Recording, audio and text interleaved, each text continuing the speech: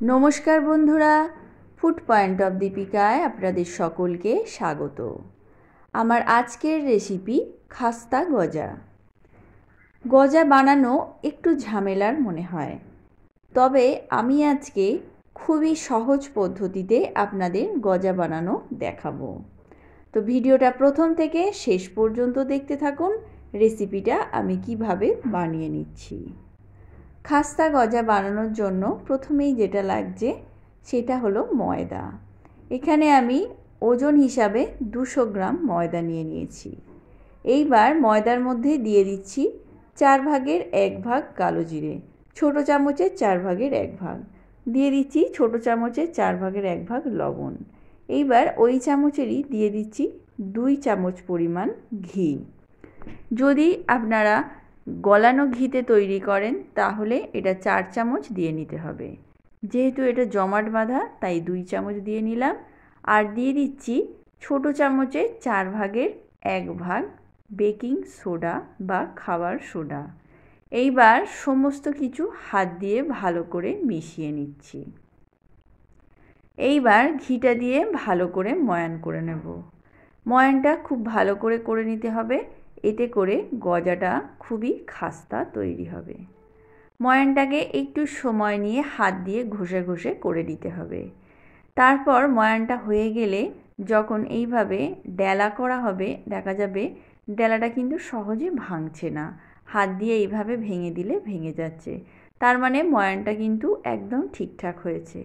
এইবার নর্মাল টেম্পারেচারে জল নিয়ে অল্প অল্প করে জল দিয়ে একটা শক্ত ডো তৈরি করে নেব। এক্ষেত্রে জল কিন্তু খুবই অল্প লাগবে। তাই জলটা একদম অল্প অল্প করে দিয়ে একটা শক্ত ডো তৈরি করে নেব। ডোটা আমার তৈরি হয়ে গেছে, আর ময়দাটাকেও আমি কিন্তু বেশিক্ষণ ধরে মাখিনি। একটু শক্ত করে তৈরি করে এটাকে ঢেকে রেখে দেব দশ মিনিটের জন্য। সেই ফাঁকে আমি চিনির শিরাটা তৈরি করে নেব। তার জন্য গ্যাসের ওপর একটা ফ্রাইং প্যান বসিয়ে তার মধ্যে দিয়ে দিচ্ছি দুশো গ্রাম পরিমাণ চিনি।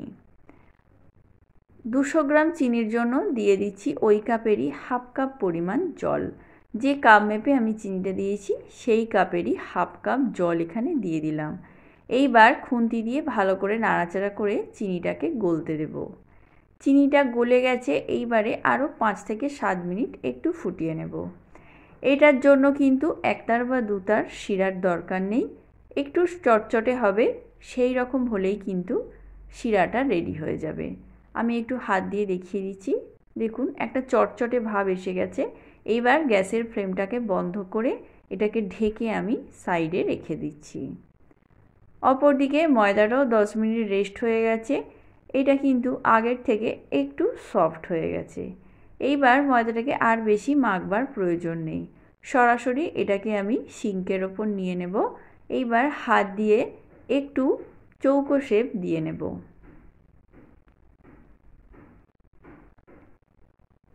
এইভাবে হাত দিয়ে একটু চৌকো শেপ দিয়ে নেব। ভীষণই সহজ পদ্ধতিতে আজকে গজা বানানো দেখাবো। কোনো রকম ঝামেলা ছাড়াই দেখুন, একটু চৌকো করে শেপ দিয়ে নিয়ে এটাকে একটা রোলিং পিন দিয়ে একটু লম্বা করে এটাকে বেলে নিচ্ছি। থিকনেসটা দেখে নিশ্চয়ই বুঝতে পারছেন। আরও একবার এইভাবে আমি চৌকো করে শেপ দিয়ে নিচ্ছি। এইবার একটা ছুরি নিয়ে নেব। ছুরি দিয়ে আমি একটু লম্বা লম্বা করে গজার শেপ দিয়ে কেটে নেব।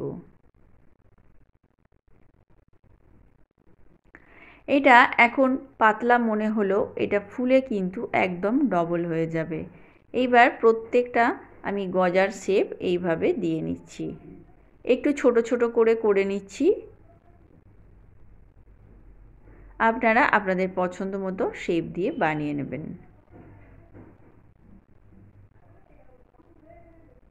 একটা থেকে আমার পাঁচ পিস হয়েছে। আরও একটা ঠিক একইভাবে আমি রেডি করে নেব। সবগুলো গজা আমার কাটা হয়ে গেছে। এইবার আমি গ্যাসের ওপর কড়াইতে তেল গরম করতে বসিয়ে দিয়েছি। এইবার একটা ছোট্ট ময়দার ডেলা নিয়ে এর মধ্যে দিয়ে দেখে নিচ্ছি। যখনই একটা থেকে দুটো বাবলস বেরোতে আরম্ভ করবে, তখনই বুঝতে হবে তেলটা কিন্তু গজা ভাজার জন্য একদমই উপযুক্ত। এর থেকে বেশি বাবলস বেরোলে কিন্তু প্রয়োজনের তুলনায় একটু বেশি গরম হয়ে যেত তেলটা। এইবার প্রত্যেকটা গজা আমি আস্তে আস্তে ছেড়ে দিচ্ছি, গ্যাসের ফ্লেমটাকে কিন্তু একদম লোতে রেখেছি। এখন কিন্তু একদমই খুন্তি দেওয়া যাবে না, যখন গজাগুলো একদম নিজের থেকে ফুলে ওপরে উঠে আসবে তখনই গ্যাসের ফ্লেমটাকে এক মিনিটের জন্য হাই ফ্লেমে করে দেব। এতে করে গজাটা ভেতরের সাথে সাথে বাইরেটাও খুব সুন্দরভাবে ক্রাঞ্চি হয়ে যাবে এবং একটা সুন্দর কালার চলে আসবে। ঠিক এক মিনিট আমি গ্যাসের ফ্লেমটাকে হাইয়েতে করে দিয়ে আস্তে আস্তে গজাগুলোকে উল্টে দেব। এক মিনিট হয়ে গেলেই কিন্তু গ্যাসের ফ্লেমটাকে আবার লোতে করে দেব। এইভাবে উল্টে দিয়ে আরও দশ থেকে বারো মিনিট এইভাবে গজাটাকে হতে দেব।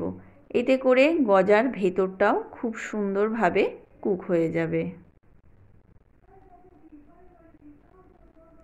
সমস্ত গজাগুলো উল্টে দিয়েছি, আবারও গ্যাসের ফ্লেমটাকে একদম লোতে করে দিয়ে দশ থেকে বারো মিনিট কুক করে নিয়েছি। দেখুন, বারো মিনিট পর আমি দেখাচ্ছি আবারও গ্যাসের ফ্লেমটাকে আমি এক মিনিটের জন্য হাইয়েতে করে দেব। এতে করে গজার ভেতরের সাথে সাথে বাইরেটাও একটা সুন্দর কালার চলে আসবে। এইবার গজাটা কিন্তু একদমই ভাজা হয়ে গেছে, উল্টে পাল্টে গোল্ডেন ব্রাউন করে ভেজে তুলে নেব।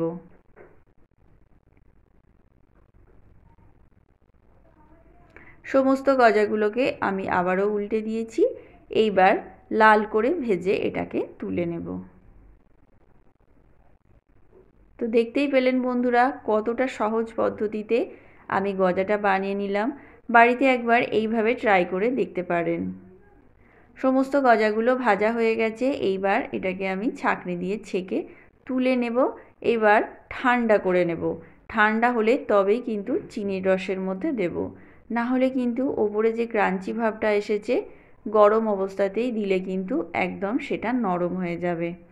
আমার রসটাও কিন্তু একদমই ঠান্ডা। এই অবস্থাতেই আমি গজাগুলো রসের মধ্যে দিয়ে দিচ্ছি। তো বন্ধুরা রেসিপিটা কেমন লাগল? ভালো লাগলে একটা লাইক শেয়ার ও কমেন্ট করে দেবেন। আর আমার চ্যানেলে নতুন বন্ধু হয়ে থাকলে চ্যানেলটা সাবস্ক্রাইব করার অনুরোধ রইল। পাশে থাকা বেল আইকনটা প্রেস করে দেবেন, যাতে করে আমি চ্যানেলে নতুন কোনো ভিডিও দিলে তার আপডেট আপনি পেতে পারেন। এইবার আরও পাঁচ মিনিট এইভাবেই আমি রেখে দেব। পাঁচ মিনিট পর আমি আপনাদের দেখাচ্ছি। এটা রস ঢুকে কতটা রসালো হয়েছে। এইবার এইগুলোকে আমি প্লেটের মধ্যে তুলে নিচ্ছি। তো আজকের মতো এ পর্যন্তই। ততক্ষণের জন্য নমস্কার।